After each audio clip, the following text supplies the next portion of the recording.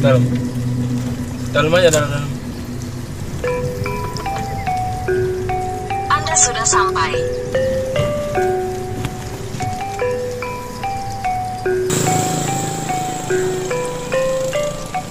Ini tampak dari depan rumah makannya ada di pinggir kota Majalengka cukup jauh dari kota tapi yang nggak nggak jalannya bagus gitu akses jalannya bagus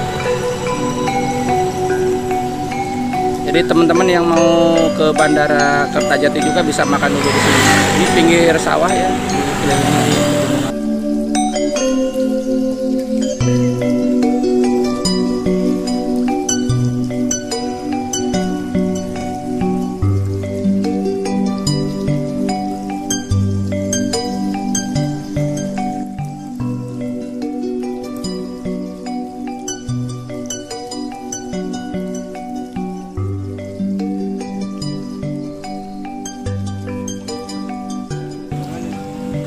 arah Majalengka ke arah kiri.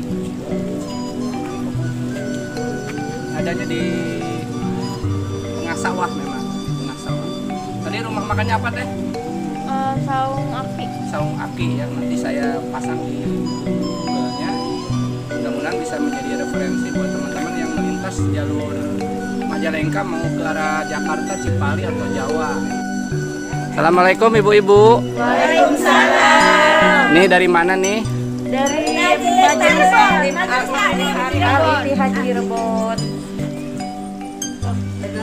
Lewat jalur sini nih rencananya udah dari mana atau mau ke mana? dari Cirebon langsung ke Masjid Agung Ke Masjid Agung Majalengka. Belum belum nyampe atau udah? sudah Sudah.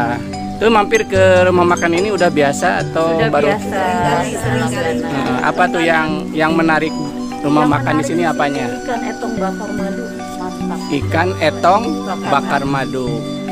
Khasnya itu ya. ya Nah, kekuatannya di bumbu atau di bahannya apa di bumbunya Di bumbunya. rasanya rasanya? Mantap Top markoto pokoknya ya. yes very good Ya. Itu buat buat teman-teman pengajian seluruh Indonesia apa nih pesennya nih? kalau ke Majalengka mampir mampir ke sawah Oke, very. Dan jangan lupa prokes ya. Mantap. Ada yel-yelnya nggak masjidnya? Apa ya? Enggak ada. Nggak ada. Iya. Selamat ya kembali lagi ke tempat masing-masing. Nah, selamat sampai tujuan beraktivitas kembali. Mana gayanya? Gayanya? Menunya di rumah makan ini antara lain standar belum teh bakar ini kan bakar ada sate. Tadi yang jagoannya nanti kita wawancara dengan pengelolanya yang menyediakan di sini. Katanya ayam sih saya nggak pesen ayam. Pesennya sate. Dan seperti biasa peda merah dengan karedok lincah tapi karedoknya tidak di tidak dihancurkan digerusnya nggak digerus. Nggak diulek diutuh gini. Nah, jadi kalau dimakan ngebeletak gitu mulutnya beletak nah rayap gitu. Jadi yang yang lewat jalur Majalengka agak jauh dari kota Majalengka berbak kita sedikit tapi nggak apa-apa. Suasananya lumayan ada di kebun jati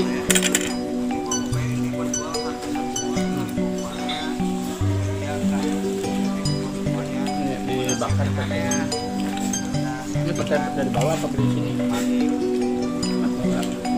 Dari situ masuk jadi ini peta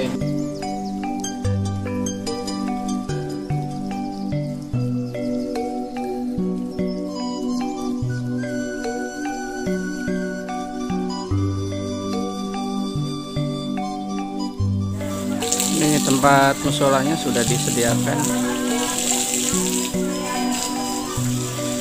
Samping musola tempat-tempat makan dan di belakangnya sawah dengan tanaman jagung paling banyak.